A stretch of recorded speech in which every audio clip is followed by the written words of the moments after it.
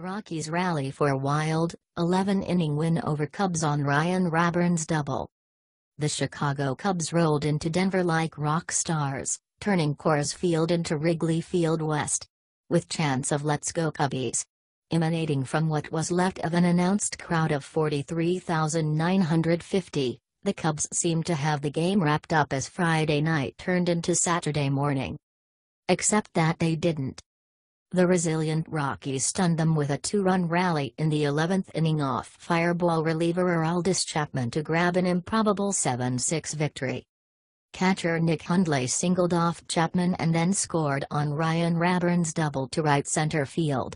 Raburn raced home with winning run on a throwing error by second baseman Javier Baez, who was trying to nail Hundley at the plate.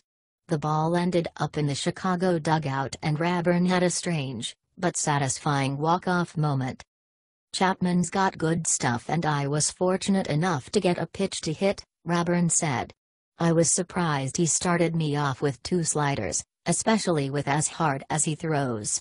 But then I got another slider up, and thank the good Lord I was able to come through for our team.